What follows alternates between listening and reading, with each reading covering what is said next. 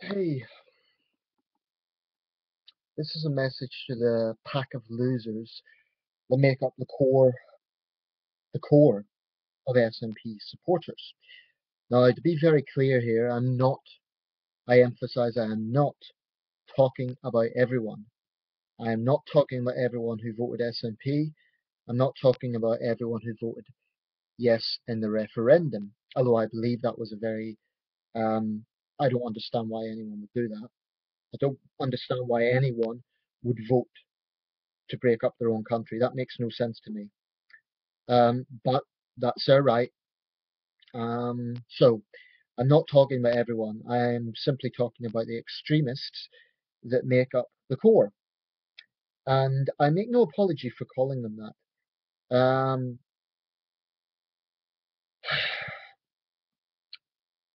you know, what really pisses me off is not only that uh, the SNP leadership is going back on its promise, um, both Serge Sturgeon and Salmond made it very clear that that was a once in a lifetime event. Now, instead of just moving on and trying to um, be progressive, they're continuing to push for a referendum, another referendum, and another one, and another one, and they will not quit until they get what they want. Now, there's an interesting phenomenon that has happened recently.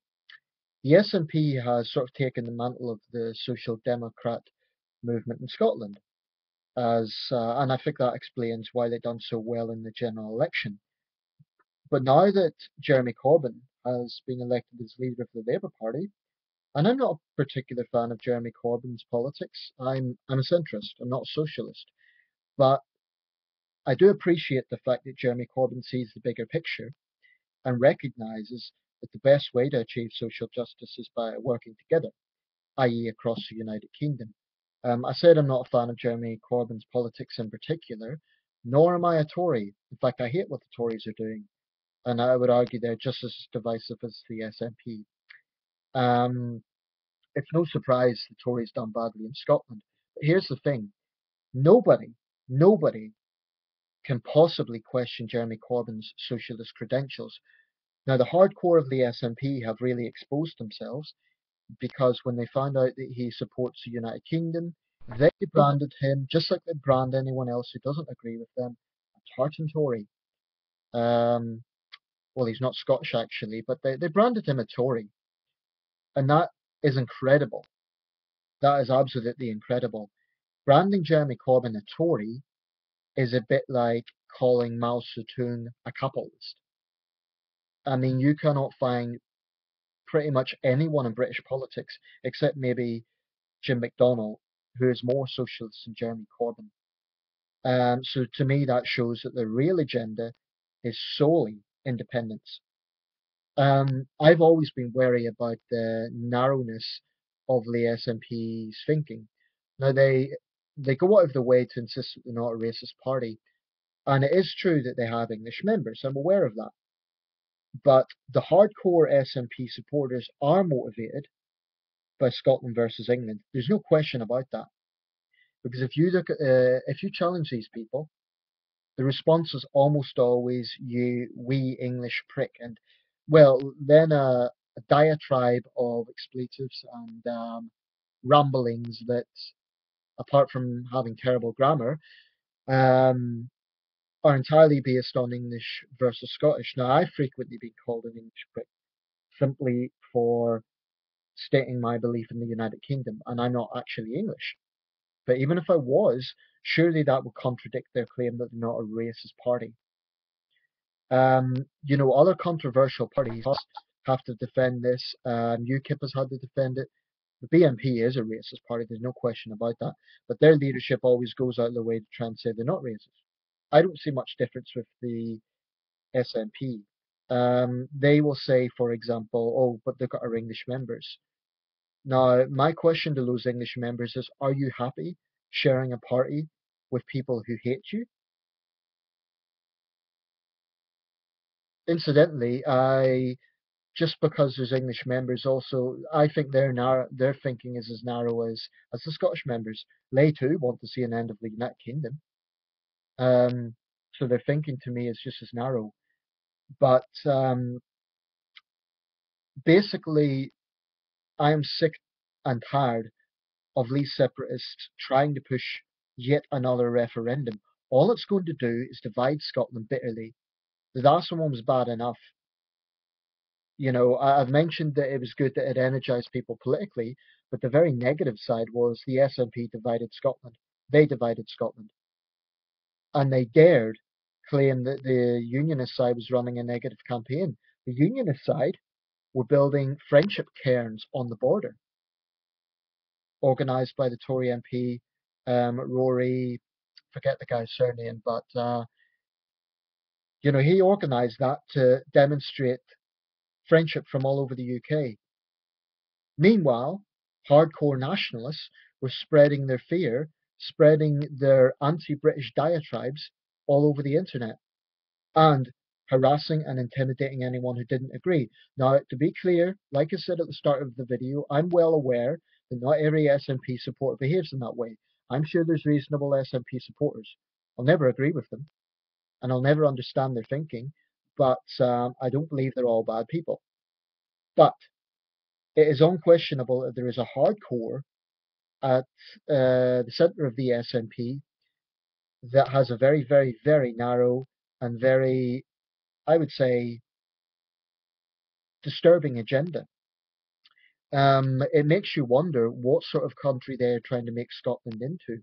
They're trying to make it into, I sometimes wonder, are they thinking of a single party state where anyone who dares question the SNP will be branded a Tory? This is the sort of atmosphere they're creating. And it's all very well to say, oh, well, they're just a minority. But they're a very vocal minority, and they clearly have a very, very large um, base online. Now, are there unionist jobs? Are there unionists that behave in an unsavoury manner? Yes, there are a few. I admit that. But I also believe that they are a lot less obvious, certainly during the referendum, than the nationalist jobs. I mean, you did not have gangs of unionists pursuing SNP politicians around. That's a simple fact. You didn't. Not in the same way that Jim Murphy was harassed. That was orchestrated. Salmond and Sturgeon couldn't even bring themselves to properly condemn that. Um, so there's several points here. Firstly, I do care about this because I care about my country. My country is the United Kingdom, and I care about it. And I don't think any other country in the world would watch itself torn apart and not care. In Spain, they're they're reluctant to even give a referendum. So what does that say about the United Kingdom? Clearly, this country is so terrible, and it's such a tyrannical regime that uh, we give a free and open election to decide the future of Scotland. Now, what other country in the world would do that? Very, very, very few. I can't think of any, in fact. So the SNP agenda is based on a vilification of the United Kingdom um, by digging up ancient history. And my question to that is what other, you know, tell me one country that doesn't have blood in its history? Is Britain's history perfect? No. But I feel angry and sad that the these people continue to push this separatist agenda. Leaving aside all the practical problems, i.e., opening embassies in an independent Scotland, the financial cost of that, which to me is not scaremongering, it's a practical question. You know, a single embassy costs millions. Um, it's also the sentimental as aspect. And one thing the unionist side the unionist side focus on practical arguments, but there is a real sentimental issue here. Hundreds of years of shared history.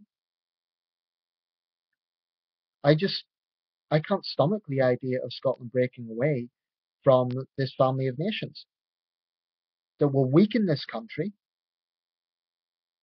And you know something, I think unionists have behaved a lot more civilly overall. I mean, most unionists do not talk about treason and treachery but it could very well be argued that people are trying who are trying to destroy this country, tear it apart. Isn't that treason? So if they're going to throw around treason claims at unionists, maybe we should start to fight fire with fire. I'm sick to death of this. And if there's another referendum, I'll be up in Edinburgh just like I was for the last one. But this time, I'm not going to take their shit. If I have any nationals screaming in my face, I'm going to fight back. I'm not talking about violence, but I'm going to give as good as I get. Because these people rely on intimidation tactics, and you know, Scots shouldn't feel intimidated about that. I think there was a phenomenon in Scotland whereby, I mean, when I was in Edinburgh that day, the city was swamped by nationalists. There's very few unionists in sight. Now, I wonder, was that because, and actually Edinburgh was one of the cities that went for the union. That makes me think that people voting um, no in Scotland were intimidated. They were sort of silent no voters. People should not be ashamed to say that they're pro UK in the UK. This is crazy. It would be like being shamed to say you're a proud American in, I don't know, a state that threatens to secede. So I'm going to leave it there, but I'm so, so fed up with this. I really, I want to move on. You know, I don't want to obsess over this. I don't even want to be uploading this video. But these people simply will not accept democracy.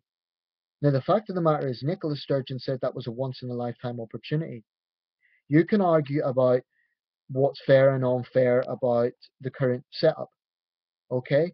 But in the end of the day, Scots were given their chance, they were presented with the arguments, and they chose to stay in the Union. Now, what about respecting the choice of the majority of Scots who said no? By the way, those who did vote no and who have changed their mind, I'm not going to dictate to other people how to think, but I would ask you a question. Uh, why did you vote no? Were you thinking purely of Scotland or were you thinking of the United Kingdom? In my opinion, if you were thinking solely of Scotland, that was selfish. And it's fickle, I think, if you've changed your mind. Where's your conviction?